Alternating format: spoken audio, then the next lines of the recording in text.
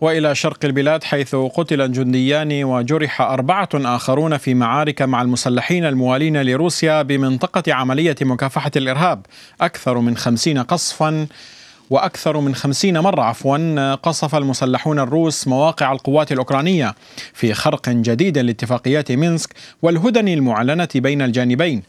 القوات الأوكرانية اضطرت للرد 38 مرة على قصف العدو بحسب قيادة عملية مكافحة الإرهاب التي أشارت إلى أن العدو يطلق النار على طول خطوط التماس مركزا على مناطق مارينكا والقوى المحيطة بمدينة ماريوبول.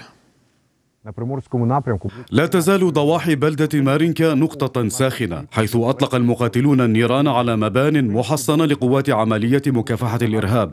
مستخدمين قاذفات مضادة للدبابات من العيار 82 ملم وقاذفات قنابل وأسلحة الرشاشة. للأسف أصيب اثنان من جنودنا نتيجة هذا الاشتباك. كما قصف المرتزقة الموالون لروسيا مبان محصنة للجيش الأوكراني في هنوتوفا وليبيدينسكي وأصيب اثنان من جنودنا نتيجة انفجار عبوة ناسفة مجهولة على طريق بريمورسكي.